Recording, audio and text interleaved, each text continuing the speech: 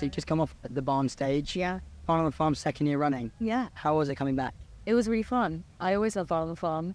Uh, it's just quite uh, midsummery. You feel that absolutely. Yeah. I just want to see some people get burned at the stake. Do you? Yeah. I'm sure. Is that not the ceremony at the end on Sunday? I think so. not been I- before, so I'm I'm- sure. I don't, yeah, I'm not staying till Sunday, so it's a bit annoying. Sing out. You guys a crowd, audience, people know your music a lot more now.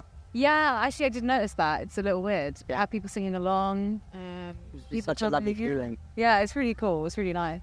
So the new song come out as well. Yes, I did. Yesterday. Yesterday, yeah.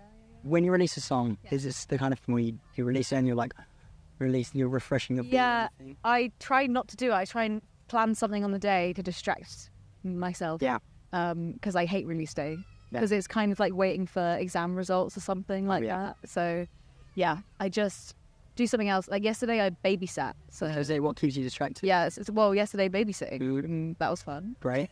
but you can't sit, well, you probably can sit back refreshing. I can, but it was a six month old baby, and Maybe so that's she what is like a lot. Yeah, I mean, we played it for the first time live, and so that was exciting for us. But So it was the first time live, I was going to say. first time live, yeah, If you hadn't played it before it come out, never, never, never.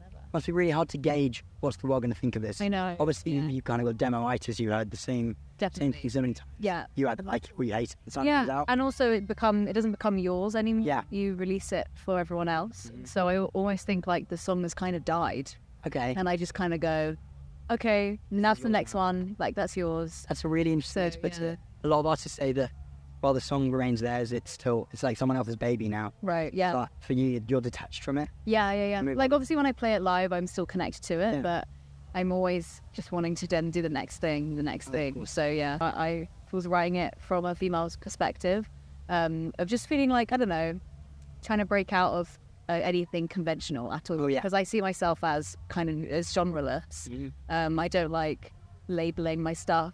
Um, It's hard to pigeonhole yourself. yeah, yeah. Particularly nowadays, you can cross genres so easily. Exactly. I think it's way more accessible now to just like not put yourself Yeah. into a s- specific genre. But And working with a producer like Matt, Matt Maltese, Yeah, Matt and Josh, Matt uh, they're both like the same. Yeah. You know, and don't you just want to write good music, and it doesn't have to be a specific thing. It's just it has to be good. I think you're doing that very well. Oh, thanks.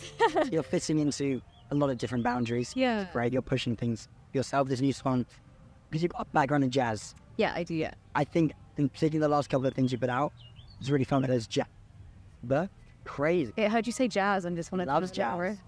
I think your jazz is, you know, back now is really coming through. Yeah, yeah, yeah. Particularly playing with the full band. Yeah. How's it been developing those songs that you wrote to fit with the full band now? Uh, I mean, really fun. I've always wanted to do that, and I think it's uh, more interesting just because we are playing like a very old school kind of band. Like we're not we're not playing with tracking. Yeah. Nothing against tracking. It's all I think it's live. great, but it is all all live, which makes it harder. You know, we can't replicate the exact record, but. I think that makes it interesting to like come see live, Oh, a version, and Everything's different. Yeah. So your creative process, obviously, you say by the end of the song that comes out, you kind of get it going, done. Mm-hmm, What's the gap generally between you writing a song? I assume it's different every time. I I wrote Mechanical Bull I think in around March of this year. So It's to not me, that long ago. not that long ago, but to me it feels like ages Oh, ago sure. because of the amount of stuff that you've written since then. So yeah, um, yeah, I just kind of write and write and write, and then I go, I like that one. So you always writing? You always Yeah, I I, I don't think I'm always writing. I think um, like I think there's a pressure of the the whole writers have to always be writing. Also, like part of writing is kind of just doing nothing. I know that sounds like an excuse, but it's not. It's no, like you need to gather your I don't know thoughts or experiences. So for you, can you write? Is it like therapy? Is it cathartic for you? I mean, um, so yeah, not always. Most of the time, yes. Uh, sometimes I'll write something without really knowing what I'm feeling, and then afterwards it becomes something that feels get more clarity. therapeutic. Yeah, So moving forward into 2023, we're halfway through. yeah. What can we expect from the rest of the year? It's been a big one for you already. Um, we can expect some a possible tour Cool. Maybe. and a possible project at the end of the year. Okay. we can look forward to that. Um, and yeah, that more of that. Amazing. Well, Etta, thank you so much. Thank you so much for having Love me. to meet you. Yeah.